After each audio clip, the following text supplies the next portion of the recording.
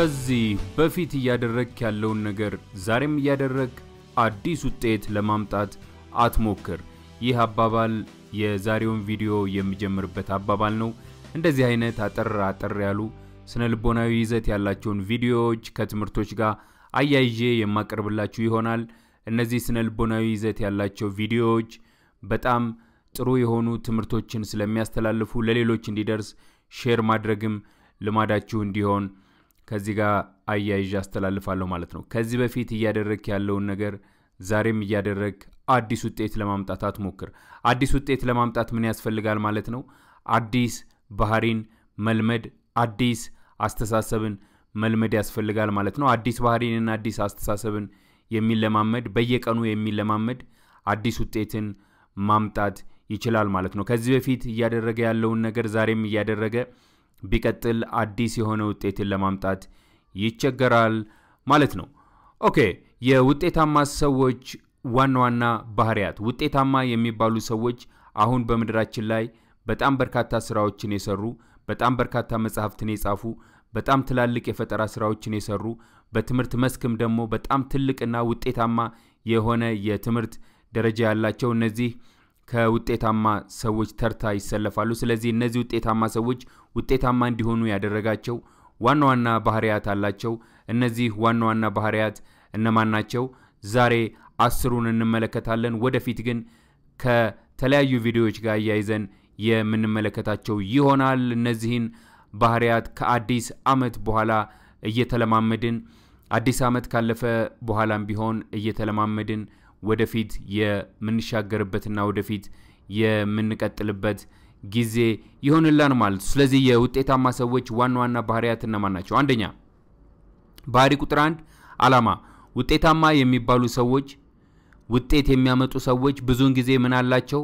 አላማ አላቸው። የዛሬ አምስት ዓመት የዛሬ አስር ዓመት ወደፊት ምን ማድረግ እንደሚፈልጉ በአላማ አስቀምጠውታል ማለት ነው። የዛሬ አስር ዓመት እዚህ ደረጃ ላይ ደርሳለሁ፣ የዛሬ አምስት ዓመት እዚህ ደረጃ ላይ ደርሳለሁ ብለው አላማቸውን በደንብ በጽሁፍ ያሰፈሩ ሰዎች ናቸው ብዙዎቹ ውጤታማ ሰዎች። እነዚህ ውጤታማ የሆኑ ሰዎች አላማቸውን ካሰፈሩ በኋላ አላማቸውን ለማሳካት በየቀኑ በየቀኑ ያስባሉ። በየቀኑ ጊዜያቸውን የሚያጠፉት አላማቸውን ሊያሳካላቸው የሚችል ነገርን ነው ማለት ነው። ለምሳሌ የዛሬ አምስት ዓመት በመጀመሪያ ዲግሪ እመረቃለሁ ብሎ ያሰበ ሰው የዛሬ አምስት ዓመት በመጀመሪያ ዲግሪ ወደፊት ለመመረቅ ከፈለገ ሁል ጊዜ ዲግሪውን እንዲይዝ የሚያደርገውን ነገር ምን ያደርጋል ማለት ነው? invest ያደርጋል ማለት ነው። time ኡን invest ያደርጋል። እንዲሁም ደግሞ የተለያዩ energy ዎችን invest ያደርጋል። እንቅልፉን invest ያደርጋል። እነዚህን ነገሮች በተግባር በመዋል ያሰበበት ደረጃ ሊደርስ ይችላል ማለት ነው። ስለዚህ አንድ ሁል ጊዜ ፌመስ የሆነ አባባል አለ። ምን ይላል? ተመልከት አላማህን፣ ተከተል አለቃህን። አላማን ሁል ጊዜ መመልከት፣ አላማን ሁል ጊዜ መከተል እንዲሁም ደግሞ አላማን ፊት ለፊት እየተመለከቱ መኖር እጅግ በጣም አስፈላጊ ነው። ጊዜያችን እንዳይባክን ያደርገናል። ከአንድ ዓመት ወደ ሌላ ዓመት ስንሸጋገር እንዴት ነው አላማዬን ለማሳካት ምን እርምጃ ወስጃለሁ የሚሉ ነገሮችን መጠየቅ እንችላለን ማለት ነው። ስለዚህ አላማን መመልከት፣ አለቃን መከተል በጣም አስፈላጊ የሆነ ነገር ነው ማለት ነው። ከዚህ ጋር አያይዤ አንድ የታዘብኩት ትዝብት ምንድን ነው? በጣም በርካታ ሰዎች በጣም ትልልቅ ደረጃ ላይ የደረሱ የተማሩ ሰዎች ከኢትዮጵያ ውጪ በተለያየ አጋጣሚ ይወጡና አላማቸው ምን እንደሆነ ወደ ውጪ የመውጣት አላማቸው ምን እንደሆነ አያውቁም። አንድ ሰው ከአገሩ ውጪ ሲወጣ ከአገሩ ውጭ ወጥቶ በተለያዩ አገራት ሲኖር አላማ ያስፈልገዋል። አላማ ካለው አላማውን በየቀኑ ለማሳካት አላማውን በየቀኑ ግብ ለመምታት ጥረት ያደርጋል። ስለዚህ አላማው ግቡን ሲመታ ወደ ፈለገው አቅጣጫ እንደገና ህይወቱን መመስረት ይችላል ማለት ነው። ስለዚህ አላማችሁ ምንድን ነው ተብለው ቢጠየቁ አላማቸውን የማያውቁ ብዙ ሰዎች አሉ።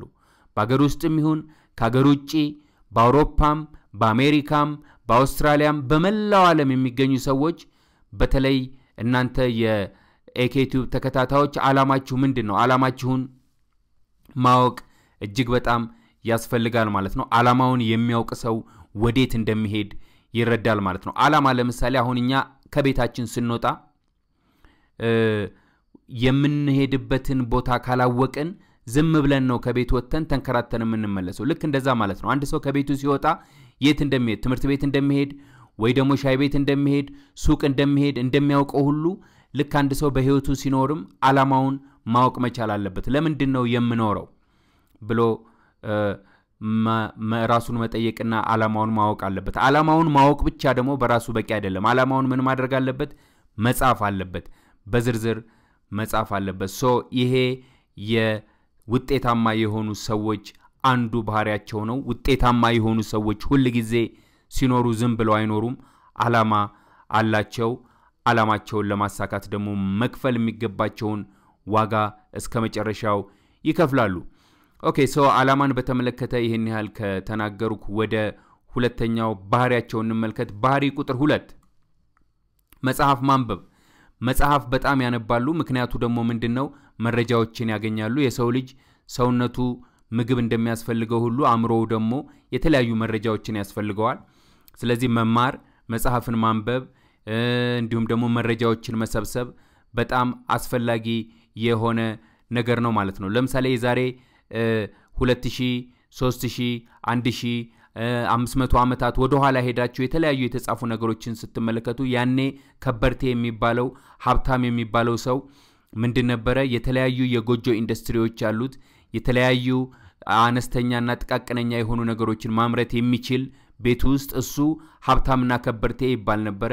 ከዛ በኋላ እንደገና ደግሞ ትንሽ ሰብሰብ ብሎ የዛሬ ወደኋላ 50 የዛሬ እንዲሁም ደግሞ 60 ዓመት ወደኋላ የተጻፉ አንዳንድ ድርሳናቶችን ስትመለከቱ ደግሞ ሀብታም የሚባለው ኢንዱስትሪ ውስጥ ተቀጥሮ የሚሰራ ኢንዱስትሪ ውስጥ ተቀጥሮ የተለያዩ ስራዎችን የሚሰራ እሱ ሀብታም ይባል ነበር። አሁን በአሁን ሰዓት ሀብታም የሚባለው መረጃ ያለው ሰው ነው። information ያለው ሰው ነው። information ያለው ሰው መረጃ ያለው ሰው at least ከመሞት ይድናል። ለምን?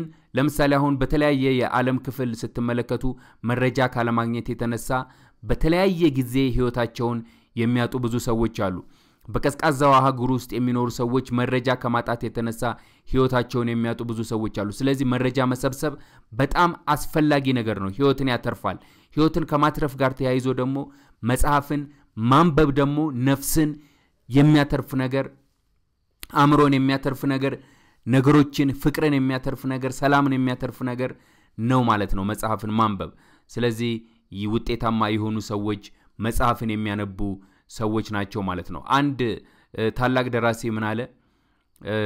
ገንዘብን ከጥቁሮች መደበቅ ከፈለግ የትም ቦታ አትክተተው፣ መጽሐፍ ውስጥ ምክንያቱ ደግሞ መጽሐፍ ውስጥ ከከተትከው መጽሐፉን ገልጠው ስለማያዩት ገንዘቡን ማንም መጥቶ ሊሰርቅህ አይችልም ያለው ነገር አለ። ደግሞ በዚህ ብቻ ያበቃ መሰላችሁ እንዴ? ይህንን ብዬ ስለ ጻፍኩኝ ጥቁሮች አግኝተው ጥፋት ያደርሱብኛል፣ ይጎዱኛል ብዬ አልፈራም። ለምን ተብሎ ሲጠየቅ ምክንያቱም ይህንን እንኳን ስለ ጻፍኩ ይህንን እንኳን መጻፌን አያውቁትም ብሎ አስፍሯል ማለት ነው። ስለዚህ በጣም ማንበብ አስፈላጊ ነው። ጊዜ ሲኖር ሁል ጊዜ ወደ ንባብ መሄድ አስፈላጊ ነው። በአሁኑ ሰዓት ሰዎች ጊዜ ሲኖር በባቡር ውስጥ፣ በታክሲ ውስጥ እንዲሁም ደግሞ በባስ ውስጥ ሲቀመጡ ሁል ጊዜ የሚከፍቱት ነገር ምንድን ነው? ንባብና መረጃን መሰብሰብ ሳይሆን የንባብና የመረጃ ክህሎታቸውን ለማሳደግ ጥረት ማድረግ ሳይሆን ጊዜያቸውን የሚያጠፉ የተለያዩ ነገሮችን በመመልከት ያጠፋሉ። ስለዚህ ውጤታማ የሆኑ ሰዎች ሁለተኛው ባህሪያቸው ምንድን ነው? ማንበብ ነው። ማንበብ በጣም አስፈላጊ ነገር እንደሆነ ያሳየናል ማለት ነው። ባህሪ ቁጥር ሶስት በአንድ ጊዜ አንድ ነገርን ብቻ መስራት። ሁል ጊዜ አንድ ነገርን ያቅዳሉ። ያንን ያቀዱትን ነገር በአንድ ጊዜ ያከናውናሉ። አእምሮ ሁል ጊዜ ዲዛይን የተደረገው አእምሮ የተሰራው የተፈጠረው ፈጣሪ ሲፈጥረው በአንድ ጊዜ አንድ ነገርን ብቻ ለማከናወን ነው። አንዳንድ ሰዎች እጅግ ለማስገረም ብለው በአንድ ጊዜ ሁለት ወይም ሶስት ነገሮችን ሲያከናውኑ ተመልክታችሁ ሊሆን ይችላል። ግን ያንን በአንድ ጊዜ ሁለትና ሶስት ነገሮችን የሚያከናውኑ ሰዎች ጥራት ባለው ሁኔታ አያከናውኑትም። ጥራት ባለው ሁኔታ፣ ኳሊቲ ባለው ሁኔታ ለማከናወን በአንድ ጊዜ አንድ ነገርን ብቻ መስራት እንዳለበት እነዛ ውጤታማ ሰዎች ነግረውን አልፈዋል ማለት ነው። ወደ ባህሪ ቁጥር አራት እንለፍ። ባህሪ ቁጥር አራት ራስን መንከባከብ። ውጤታማ የሆኑ ሰዎች ሁል ጊዜ ራሳቸውን ይንከባከባሉ። ውጤታማ የሆኑ ሰዎች በየጊዜው አስፈላጊ የሆኑ ነገሮችን ለራሳቸው ያደርጋሉ። ውጤታማ የሆኑ ሰዎች ራሳቸውን የሚወዱ ናቸው። ውጤታማ የሚባሉ ሰክሰስፉል የሚባሉ ሰዎች ሁል ጊዜ ለራሳቸው ፍቅርና ክብር የሚሰጡ ናቸው። ራሱን የሚንከባከብ ሌላ ሰውንም ስለሚንከባከብ ማለት ነው። ጤንነታቸውን ለመጠበቅ ማድረግ የሚገባቸውን ነገር በሙሉ ያደርጋሉ። ውሃ በብዛት ይጠጣሉ። ውሃ በብዛት የሚጠጡበት ትልቁ ምክንያት ሰውነት የተሰራው ሶስት አራተኛ የሆነው የሰውነታችን ክፍል የተሸፈነው በውሃ ስለሆነ ብዙዎቻችን ውሃ በብዛት መጠጣትን እንዘነጋለን። እነዛ ስኬታማ የሆኑ ሰዎች ግን ለህይወት በጣም አስፈላጊ ነገር፣ ለስኬት በጣም አስፈላጊ ነገር እንደሆነ ስለሚያውቁ ውሃን በብዛት ይጠጣሉ፣ ጤንነታቸውን ይንከባከባሉ፣ በአጠቃላይ ራሳቸውን take care ያደርጋሉ። so ባህሪ ቁጥር አምስት አፍቃሪ ናቸው። አፍቃሪ ናቸው። ውጤታማ የሆኑ ሰዎች ቤተሰባቸውን ያፈቅራሉ፣ ሌላውን ሰው ያፈቅራሉ። ሌላውን ሰው ሲያፈቅሩ ለሌላው ሰው ፍቅር በመስጠት ደስተኛ ይሆናሉ። እንዲሁም ደግሞ የፈጠራቸውንም ፈጣሪ ያፈቅራሉ። አፍቃሪ ናቸው። በጥቅሉ ባህሪ ቁጥር ስድስት በፈጠራ መስራት፣ በፈጠራ ነገሮችን ይሰራሉ። አንድ ነገርን ከሰሩ በኋላ ያንን የሰሩትን ነገር በቃ ዝም ብለው አያቆሙም። አዳዲስ የሆኑ ነገሮችን በመፍጠር አዳዲስ የሆኑ ነገሮችን ለማምጣት ጥረት ያደርጋሉ። አዳዲስ ነገሮችን ለማምጣት ጥረት ሲያደርጉ ደግሞ ትልቅ የሆነውን የሰው ልጅ ችግር ይፈታሉ ማለት ነው። so በፈጠራ መስራት አንዱ ባህሪያቸውና መገለጫቸው ነው ማለት ነው። ባህሪ ቁጥር ሰባት ጊዜ አጠቃቀም። የጊዜ አጠቃቀማቸው በጣም የሚያስቀናና ደስ የሚል ነው። ጊዜያቸውን አላግባብ በምንም አይነት ተአምር አያሳልፉም። ለምን? ምክንያቱም አላማ አላቸው። አላማ ያለው ሰው አላማው ጋር ለመድረስ ዋናው ጉልበቱ ምኑ ነው? ጊዜው ነው። ጊዜውን በአግባቡ ከተጠቀመ አላማው ጋር መድረስ ይችላል። ጊዜውን በአግባቡ የተጠቀመ ሰው ብዙ ስራ ሊሰራ ይችላል። ስለዚህ መማርም ካለበት ይማራል በጊዜው ጊዜውን ቆጥቦ፣ ማጥናትም ካለበት ጊዜውን ቆጥቦ ያጠናል። እንዲሁም ደግሞ የተለያዩ ቡድኖችን መመስረት ካለበት ጊዜውን ቆጥቦ ይመሰርታል ማለት ነው። ግቡን አላማውን እንዲመታ የሚያስችለው ብቸኛው ኃይል ደግሞ ጊዜም ስለሆነ ማለት ነው። ሶ ባህሪ ቁጥር ስምንት አዳማጭነት። አዳማጭ ናቸው። ስኬታማ የሆኑ ሰዎች በጣም ነው የሚያዳምጡት። ከሰዎች ጋር ንግግር በሚያደርጉበት ወቅት በጥሞና ያዳምጣሉ። ያዳመጡትን ነገር ደግሞ ያብሰለስላሉ። የሚጠቅማቸውን ነገር ይወስዳሉ።